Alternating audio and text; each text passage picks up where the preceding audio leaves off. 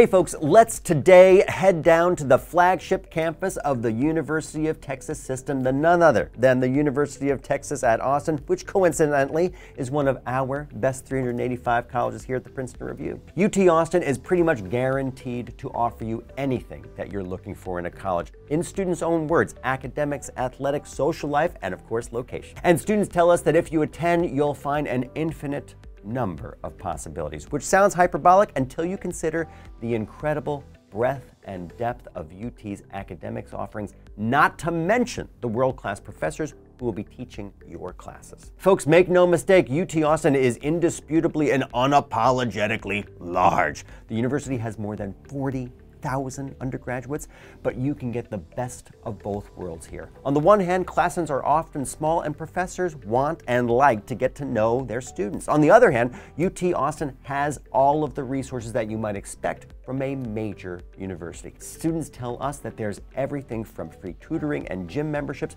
to professional counseling, career advising, and many distinguished speakers coming onto campus. Plus, given all that the school offers, students tell us that they have no trouble finding their own niche. Greek life is alive and well on campus, but the school offers much, much more than just Greek life. It's pretty common to see students casually tossing around a frisbee outside of the tower and taking a nap under a tree. Then again, they also love to take advantage of 6th Street nightlife without question, as well as the many hiking and bike trails that surround campus.